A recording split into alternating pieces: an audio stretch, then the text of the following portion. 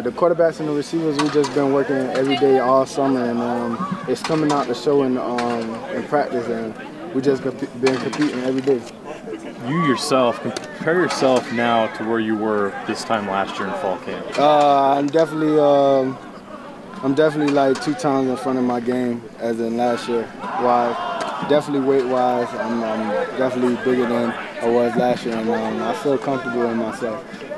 How, how, how big of a difference does it make being in Troy Taylor's system for the second year rather than you know learning it last year?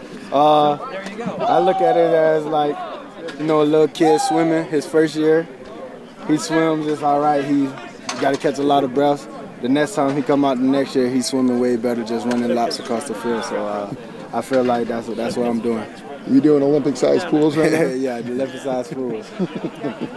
How hard was it to put on all that extra weight? How much work did you have to do? To uh, it's definitely a lot of work, and um, you just gotta you just gotta have the positive mindset because any bad days you might just feel down that you you know what I'm saying that it's not going your way, but you just gotta see through that and um, just keep working. Is there a fun part of it putting on weight? You get to eat more, uh, right? You just get to eat more. I, I, guess that's the fun part right there. What did you mainly eat to put on that weight? Uh, I don't know, a lot of rice, a lot of, a lot of, a lot of. It's just a lot of stuff they throw at me. So drinking shakes after workouts, drinking shakes after runs is, is crazy.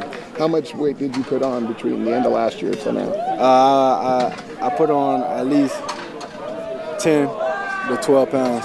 How do you make that not avoid or not affect your quickness and your speed? Uh, I've been I've been working with this weight all over the off season, so I feel like it ain't nothing different. About the weapons you get to work with? Not a lot of experience coming back, but it seems like you're developing some chemistry with you know guys like Siaosi Mariner and Britain Covey and those guys. It just it just shows, like I was saying, we've been working every day on the off season, and um and we just progressing as an offense, as a team, and it, it, feels good. Your first chance to work with Britain Covey, I'm sure you heard about how good he was 2015. What's it like to see him on the field now? Uh, he, he just electric. Uh, at any moment, he gonna get open. So uh, I feel like I keep that in the back of my hand, of mind while I'm going through my progressions. I know I got Britain Covey, and I know I got my other receivers. They're doing a great job of getting open. So it's great to have my receivers.